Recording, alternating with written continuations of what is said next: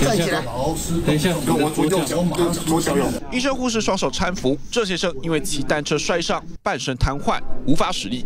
这一幕让家属心疼难过，更直指害人摔车的元凶就是水沟盖缝隙。我去车子是夹在水沟盖上面，然后整个人飞出去，然后头着地。我以为我掉进水沟里面，结果不是，我倒下去之后。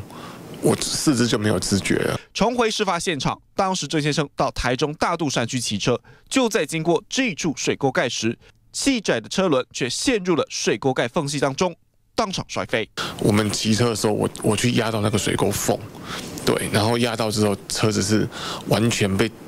锁死，然后整个人飞出去，这样子。这么一摔，就连拿水杯都没有办法，更别说原本卖改装车精品，还有脚踏车的工作，全部停摆，不知所措。将来，对啊，很茫然啊。